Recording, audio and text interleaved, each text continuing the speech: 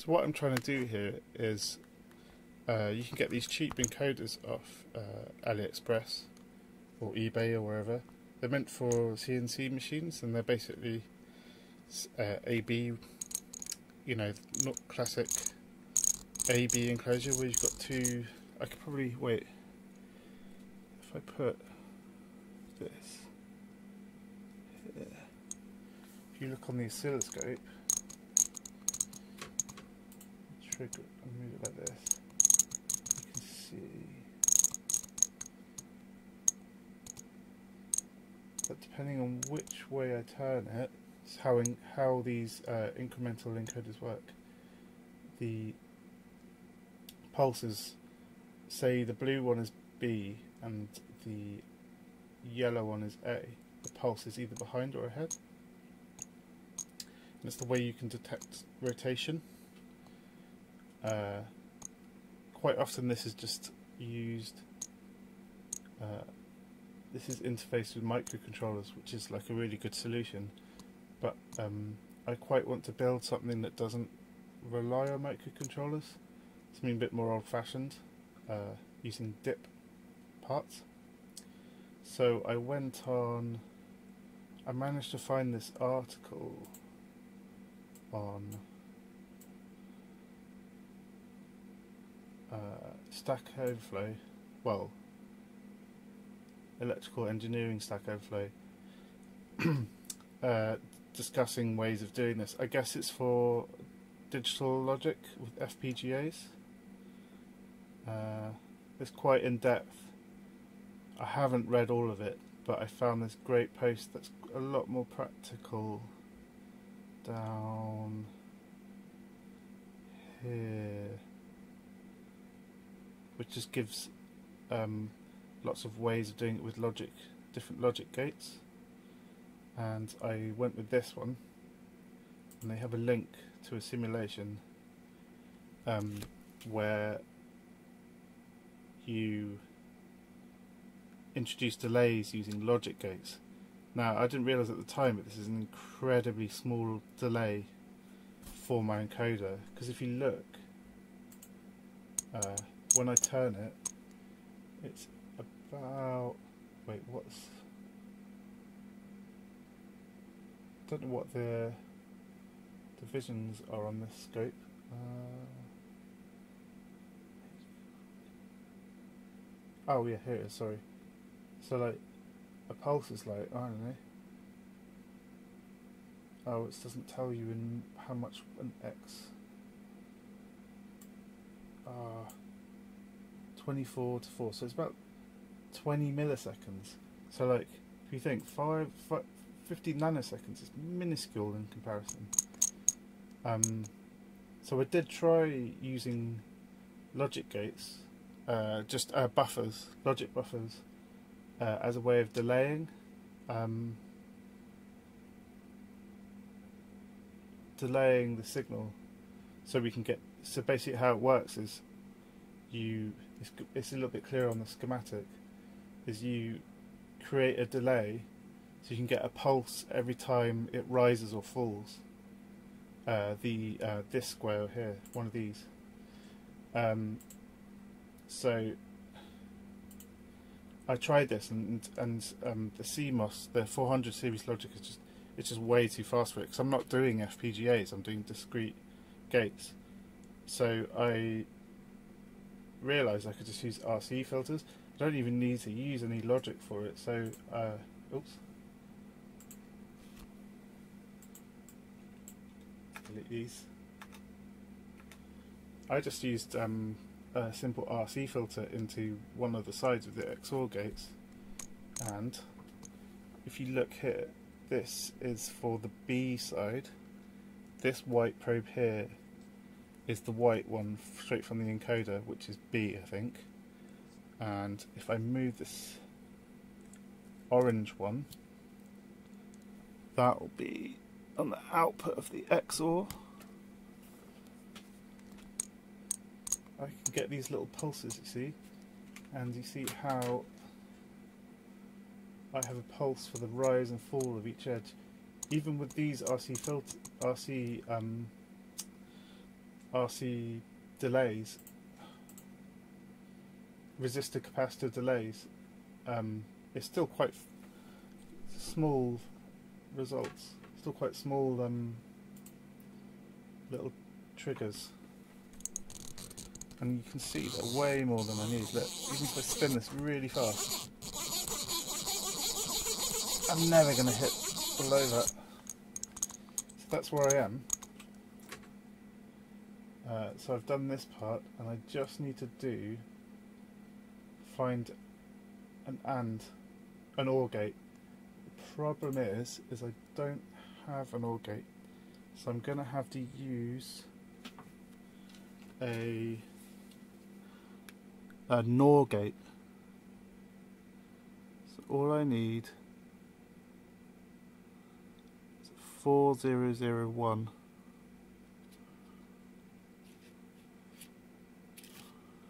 Okay, I'm just going to pause the video. Oh, I can't pause the video. Oh well. You just of sit and wait. And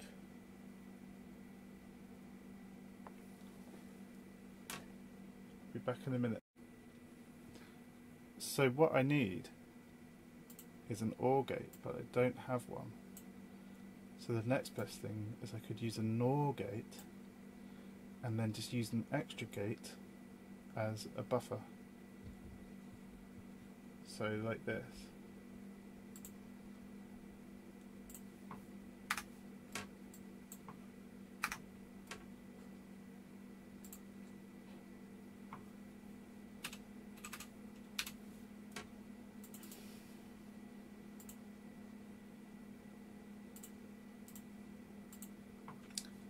Buffer, and inverter.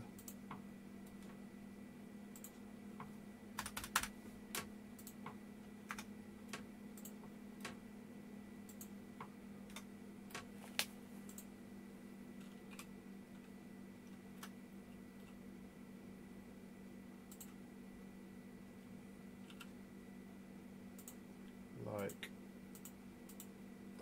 that.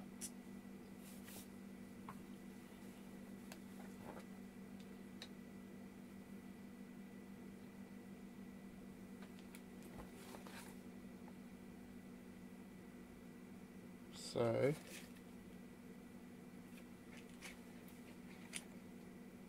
ah. I just need to find it. Five one.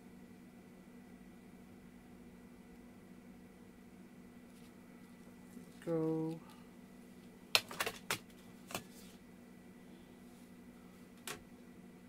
That's another camera.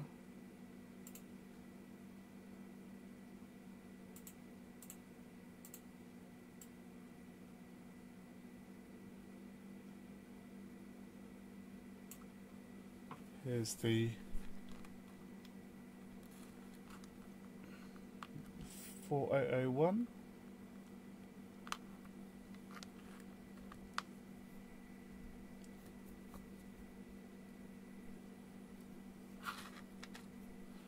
Just need to put it in the breadboard. Turn off password.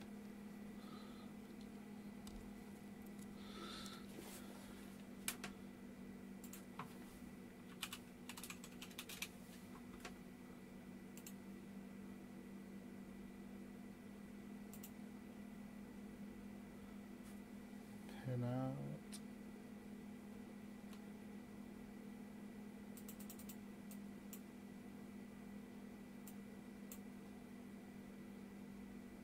Which one is it?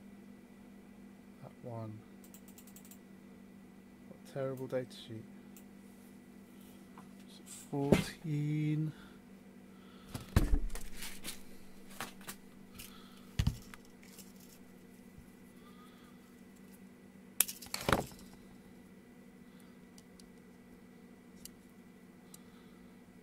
VDD.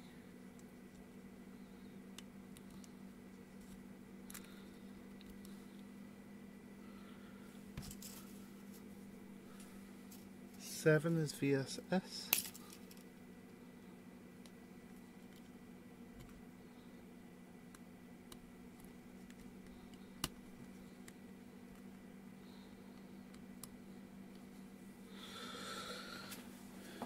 And then we want A to be A is pin 1 to be the output of this, which is here.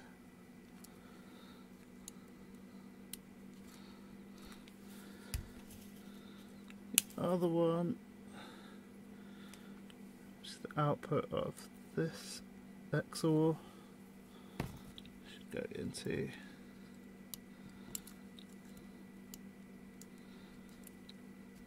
there.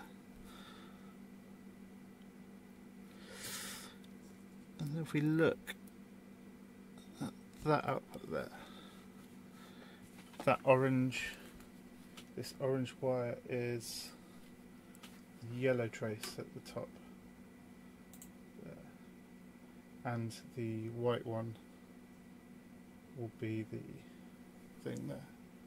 Power it. Whoop. Okay.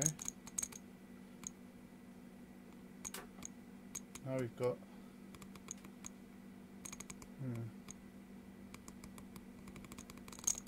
Is that right?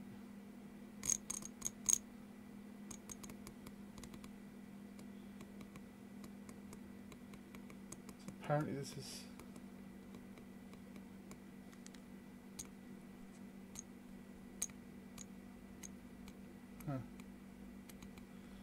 Then we need to do this section here, which is the XOR between the delayed B and A. So we do that.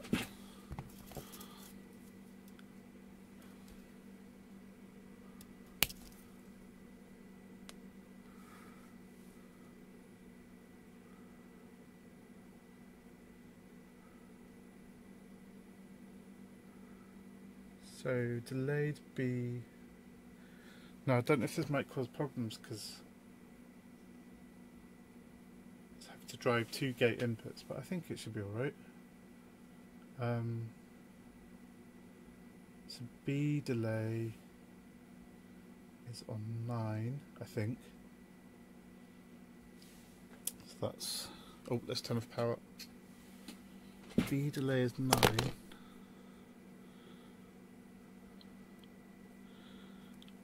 And we want it to go to um, 1 or 2. So B delay 7, 8, 9. No. No, 9's the output. No, 10's the output. 9. Oh, it's where the RC is, isn't it? So that's B delay. Then.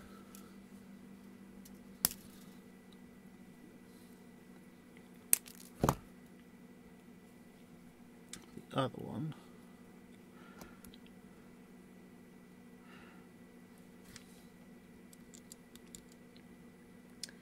Should be coming from the non-delayed input, so that's here of A.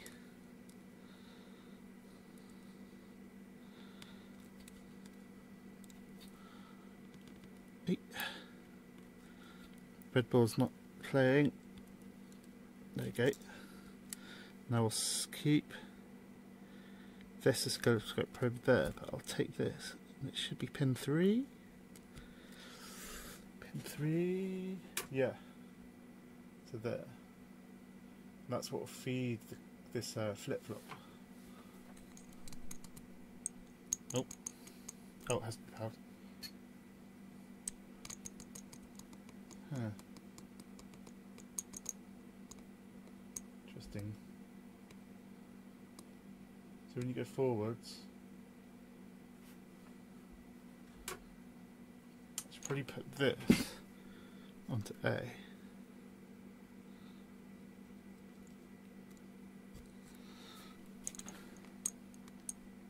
So when you go forwards, so when I turn this like that,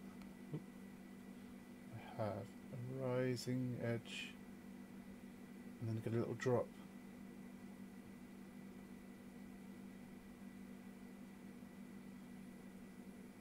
Because it's the XOR of that and that. Okay. I don't understand that. I can understand this stuff easily.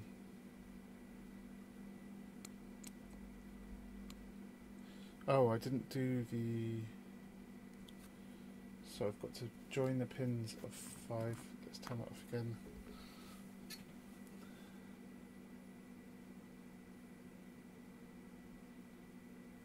Join the pins of five and six of the OR. N- uh, NOR.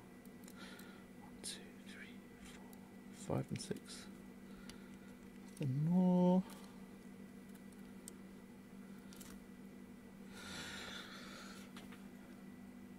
and then take the output of 3 and put it into the, input of 5 and 6.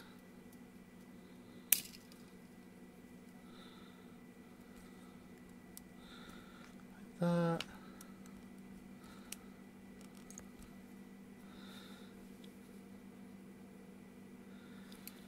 Then, why do we want it the other way around? Shit. Oh, did I do that live? Nope. Should get this. Stick it here. Power. What?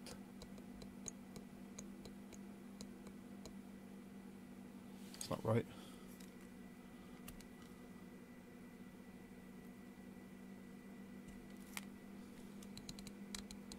Why am I not getting that as something touching? Yes, something's touching. Yeah, that's it. These two wires here were touching. The problem with using uninsulated wires must mean that now, if I look at the output of this, oh yeah, that's what I was looking at. Wait. If I put this back here.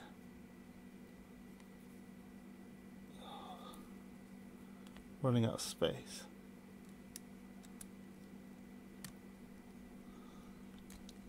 Let's put that there. No, that's not right. What's touching? No, that is right, that is right. Need to understand it though.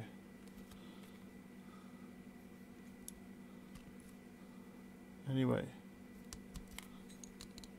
this should be little spikes here.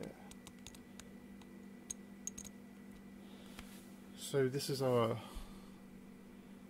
outputs. We've got one. This orange wire is here. Can you see my mouse?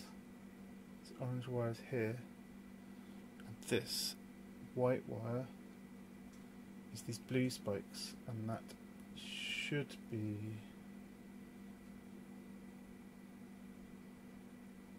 Should be.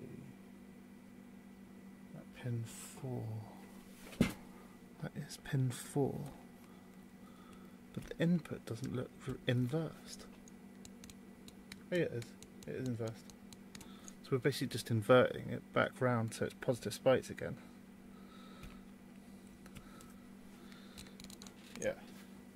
because we don't have because we don't have um, a straight OR. We're just using an OR with an inverting output and then using another OR to invert it back round again. So now we need to put it into this chip, which is here. Nope. I just had it.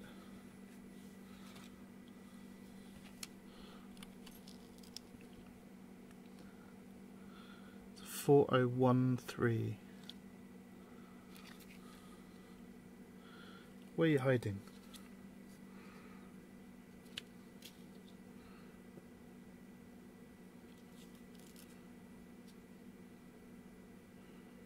Just looking for the 4013. Here's one. Here is the CD 4013 that you can't see. It's the wrong way round.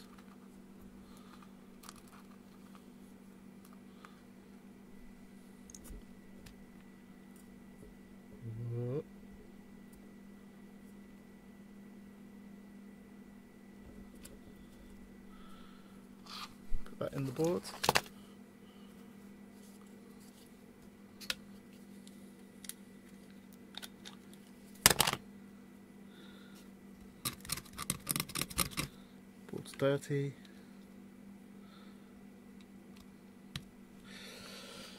The CD4013, Texas Instruments.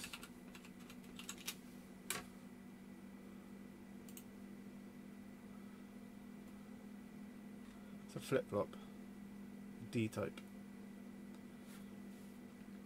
Simpler pin-up, not like an old photocopy like some of them Photocopied from a data book, probably in the 80s, uh, 70s. VDD is 14.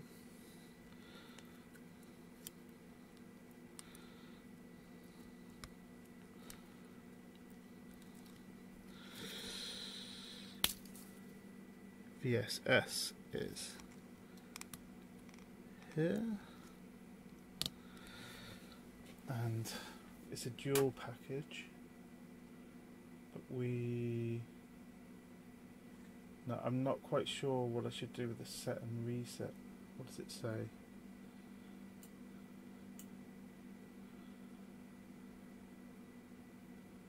Can't leave them floating I don't need them. I need to work that out. Um,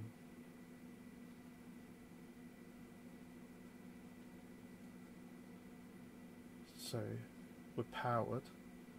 We can use the left hand side. So you want D1 to be pin 5. No. Oh yeah. Pin 5 goes from pin 3 of the 4070 eh? which is the top one. I might have to use an actual jumper here.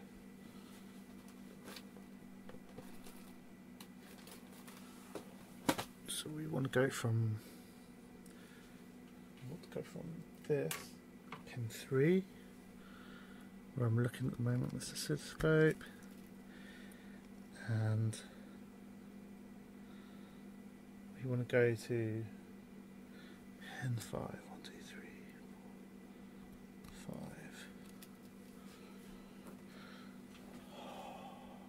Then the clock is come from the one we just made, pin 4, which is where the other probe is.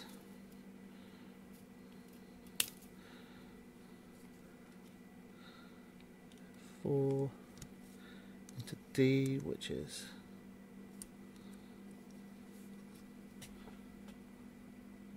no, into clock, is pin 3.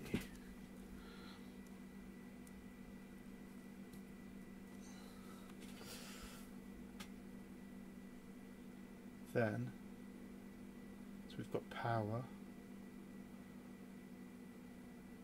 The only thing we need to work out is what we do with certain reset.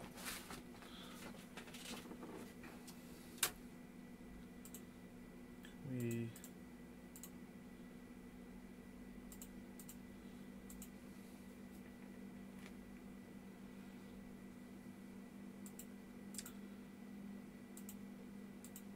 Oh yeah. Oh. No. Well, this is virtual, so grounded them. Wait. Set. No. because yeah, that, yeah, that wouldn't work. Yeah, because they have functions so set. Opposite each other. I don't actually. I should know more about this. Which is the one? from grounding. from grounding. Does that mean reset needs, to be on 5 volts?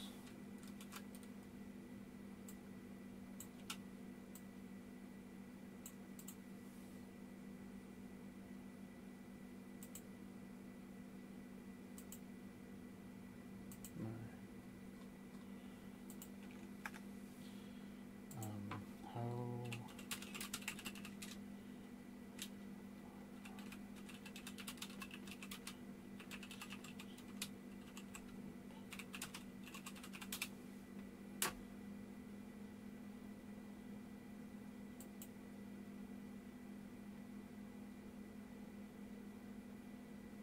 Um,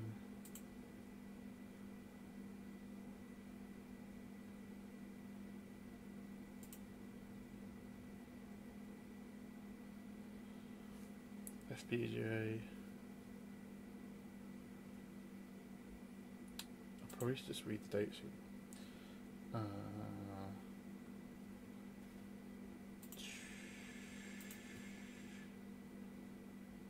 okay, here you go.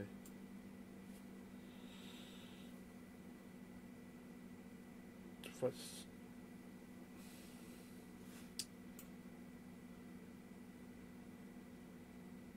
doesn't care.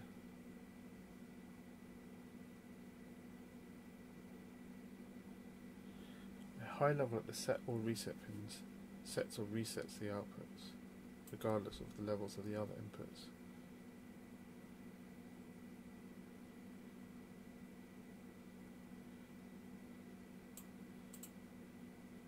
When set and reset are inactive,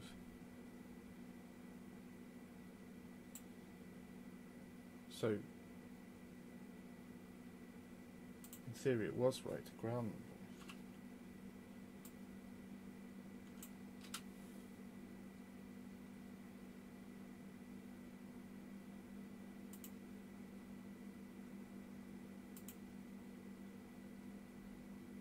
Oh.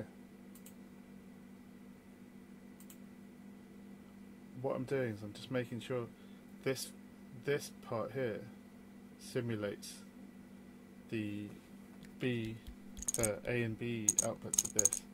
So when I set when I put this high it's like one direction. Do it low it's the other direction. And the idea is the outputs we're gonna get is a direction pin and a clock pin. Now it seems a bit laggy here, but that's because this is going quite slowly. Uh, what's the time divisions? I don't know. Five nanoseconds. So yeah, that should work. Let's get. Um, so let's push this up a bit more. Now we've got.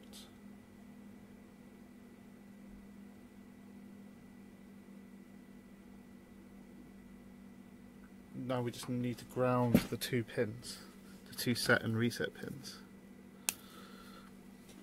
Which is the data sheet again?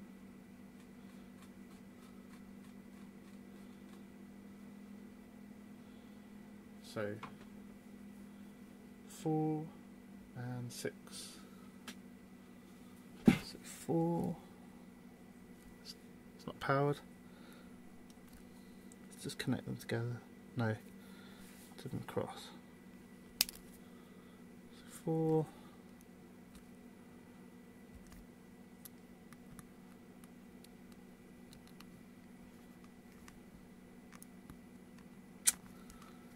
Come on, breadboard. And six.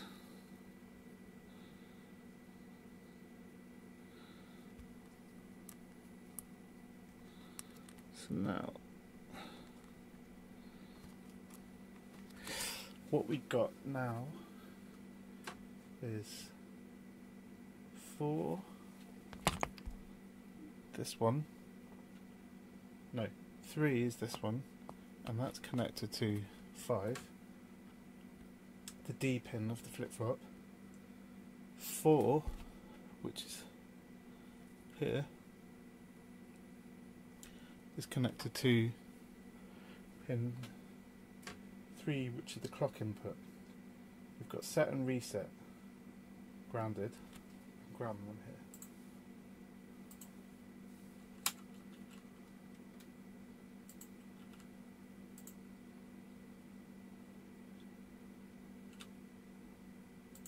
Then we should just be able to read here. So we'll put one we'll leave and we'll put this the yellow trace on the oscilloscope will go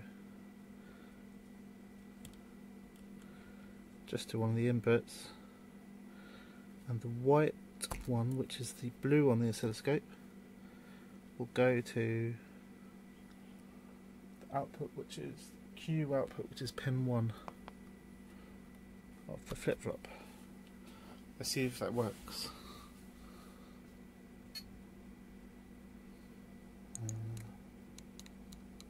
Ooh. Hey! See, look what happens. I zoom out. Whoop.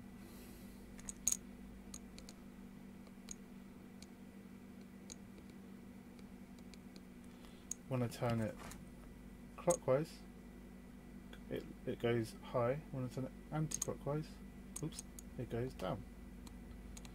And what I've got here somewhere, where's the LED gone? Actually had an indicator, I'll make another one. Got an LED. Can you see that little LED?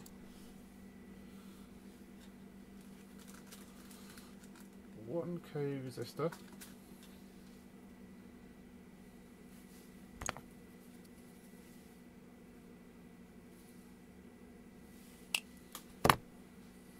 Oop. Almost fell off my chair.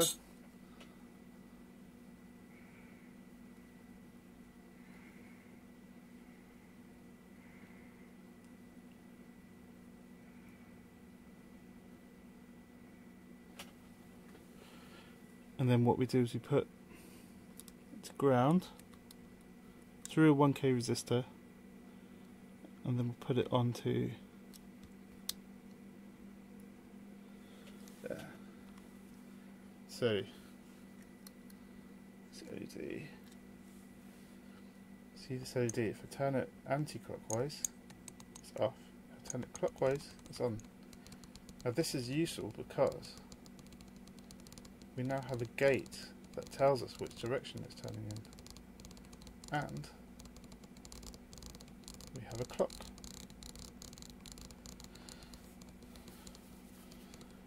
Um, you could probably drive two encoders with these parts. You would probably need two 4070s and you could reuse these because there's enough gates there's two, there's four of them. So you only one of these, two of these, and this has got two and it's one of these, and you could do two encoders just with three chips. I mean, it seems crazy because if you use a microcontroller, all you need is one chip. But actually, there are benefits to. Oh, oh, Oh yeah, look, sometimes. Oh, I can feel it because we didn't. We slightly moved back. Ooh, it trips up sometimes.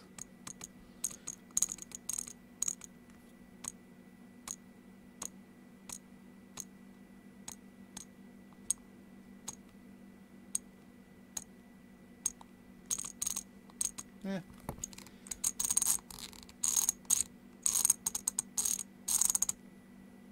Yeah, you can see sometimes. I had to find out what that is. Probably race, some kind of race condition. Wait, no, that's programming. Uh, propagation delay issues, metastability issues.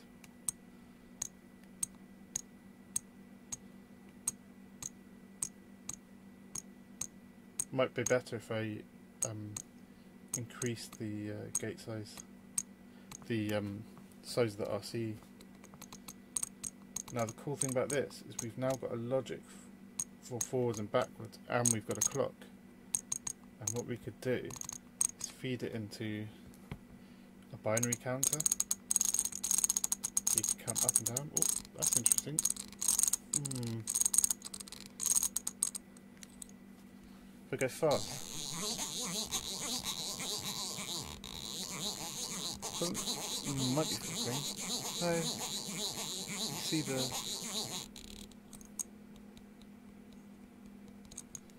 Wait. I can't see any glitches on the oscilloscope. Occasionally. Maybe, oh, it's like it's almost like it slips backwards sometimes.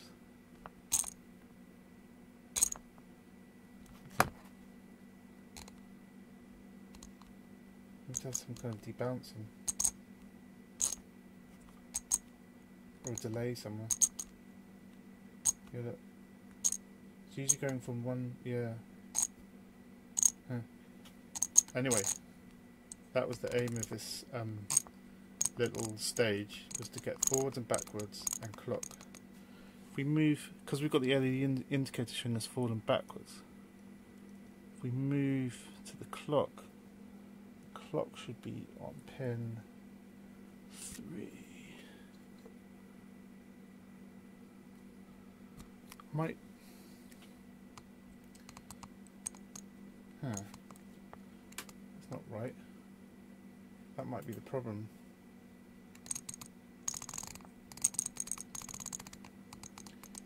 Why is pin 3 look like the gate?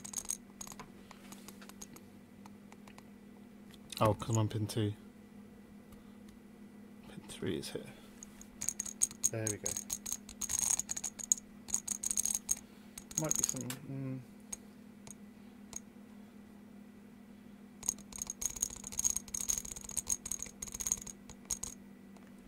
I think it's probably here. where the state isn't always completely known. Is the, is the clock set on a falling edge? I think.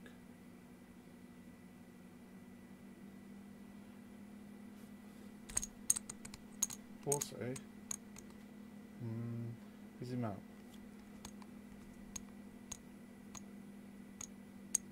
You can't really use that as a clock.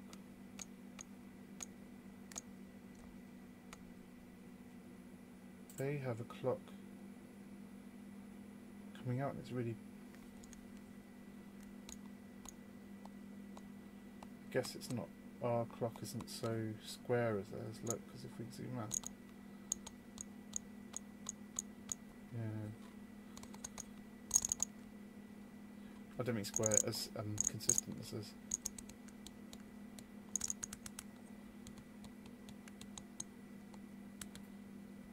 don't want we don't want a pulse.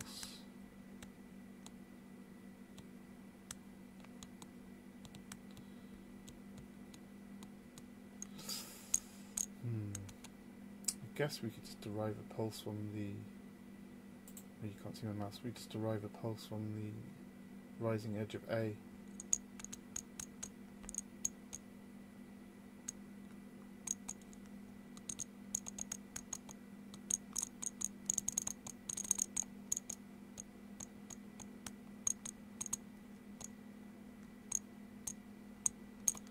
Anyway, I hope you enjoyed my boring video.